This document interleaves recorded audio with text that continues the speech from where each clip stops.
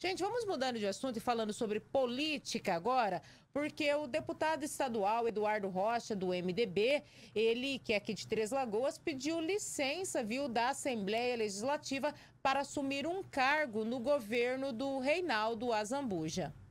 O anúncio do afastamento foi feito na manhã desta terça-feira na Assembleia Legislativa. Ainda não está definido se Eduardo Rocha vai para a Casa Civil ou para a Secretaria de Governo. Como eu decidi não disputar mais as eleições, eu aceitei o convite de ir para o governo do Estado, ocupar ou a Secretaria de Governo ou a Casa Civil. Nós vamos ainda discutir sobre isso. Mas estou indo para o governo do Estado para trabalhar institucionalmente trabalhar e fazer a parceria da Assembleia Legislativa com o governo, dos poderes, como o Poder Judiciário, o Ministério Público ou a Defensoria Pública e com todos os outros poderes. É, não discutir com o governador nada eleitoral.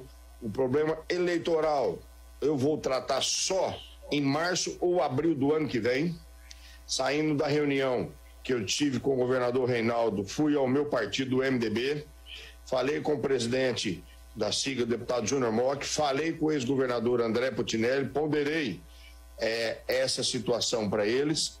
Então, estou, a, não sei se semana que vem, no final do mês, é, eu estou indo para o governo do Estado e dizer a todos os senhores deputados e deputada que estarei à disposição e quero fazer um papel ajudando a terminar o governo no ano que vem, que é um governo que tanto eu quanto todo o MDB participou, apoiou e ajudou, e vou para o governo para fazer a parte institucional do governo do Estado com a Assembleia Legislativa e com os outros poderes. Então era isso o comunicado que eu gostaria de fazer à casa.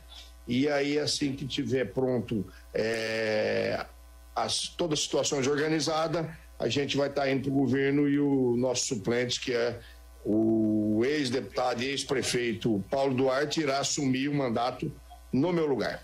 Com a decisão do deputado estadual Eduardo Rocha de se afastar da Assembleia Legislativa, Três Lagoas deixa de ter um representante na Assembleia Legislativa. A cidade já chegou a ter dois deputados estaduais. Na época, o Eduardo, juntamente com o então deputado, hoje prefeito de Três Lagoas, Ângelo Guerreiro. Com o afastamento de Eduardo Rocha, quem assume a vaga na Assembleia Legislativa é o ex-deputado e o ex-prefeito de Corumbá, Paulo Duarte, do MDB. Paulo Duarte já pertenceu às fileiras do Partido dos Trabalhadores também.